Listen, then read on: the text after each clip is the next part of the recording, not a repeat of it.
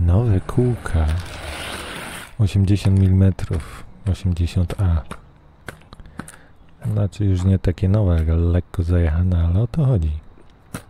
Naszynie typu rocker, czyli banan. 70 zł za komplet, potrzebne są dwa. 35 zł za komplet łożysk, potrzebne są dwa. Czyli w sumie 220. Nie ma tragedii. Pierwsze wrażenie? Pod kątem, pod obciążeniem, dużym obciążeniem zaczynają się lekko ślizgać. Słychać to tarcie. I przez to łatwiej się robi slalomem, bo nie stawiają tak dużego oporu.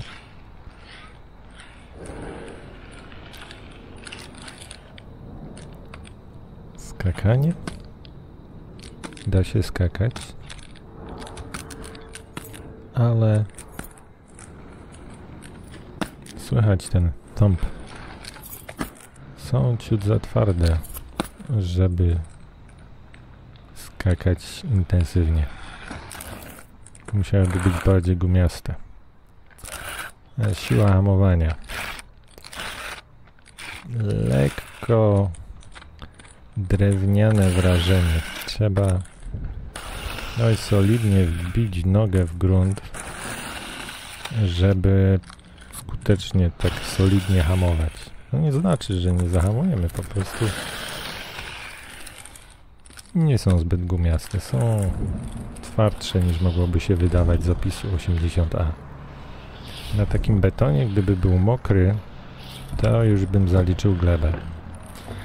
Także na suchym świetnie się jeździ, na mokrym lepiej nie. Na pasach, na białej farbie, gdyby była mokra, gleba gwarantowana. I tutaj próbowałem nakręcić przekładankę, ale chyba jeszcze muszę popracować nad moimi ujęciami. Niemniej e, próbuję robić taką intensywną przekładankę i słychać, że w końcowej fazie ruchu taki lekki wiraż, lekkie tarcie. Czyli dobra przyczepność, dobra kontrola i można uzyskać poślizg, ale trzeba w to włożyć trochę wysiłku. I tutaj na kaponierze jest ciekawa nawierzchnia. To jest jakoś sklejony z, z, z glebą, z, z podłożem. Drobnoziarnisty piasek. Coś w rezultacie coś jak gruboziarnisty papier ścierny. To daje bardzo dobrą przyczepność. Ale jak widać, można osiągnąć całkiem całkiem dobry poślizg. Jeśli mamy trochę piasku na nawierzchni, to ten poślizg staje się nieco łatwiejszy, ale nadal dobrze kontrolowany, jeśli to ma sens. Co tu próbuję przekazać? Kółka chętnie się toczą po gruncie.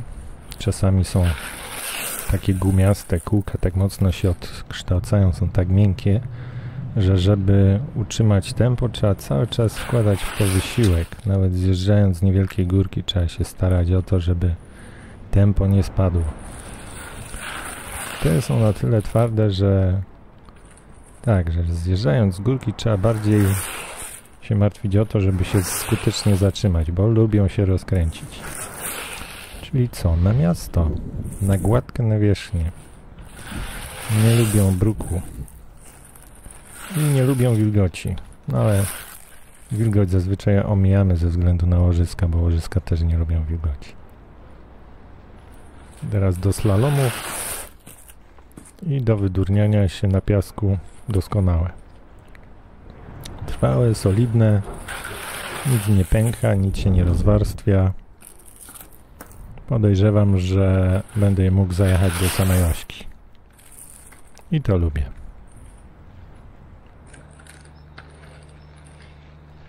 Także co? Slalom. Slalom tak. Jazda po mieście w miarę żwawa. Tak. Skakanie. E, średnio. I wszystko, co wiąże się z, ze ścieraniem kółeczka. Kółeczko znosi bez jakichś szczególnych protestów. Chyba mogę polecić. I tyle na tą chwilę. Cześć.